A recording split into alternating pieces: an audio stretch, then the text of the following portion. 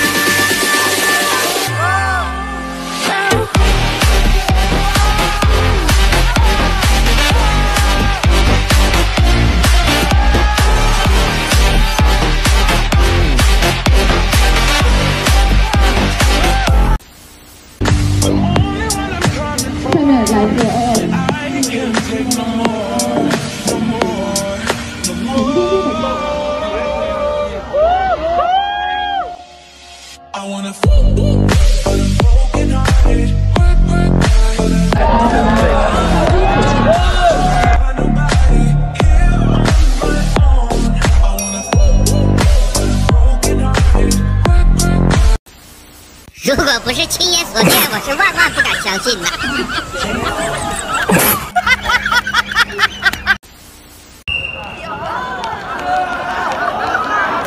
哈哈哈哈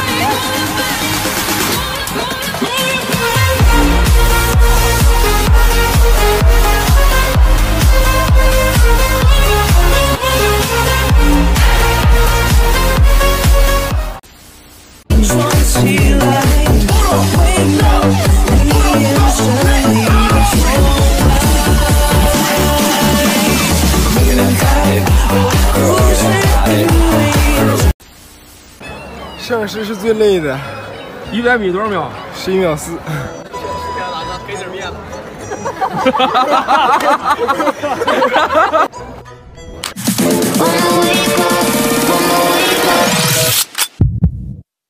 就这。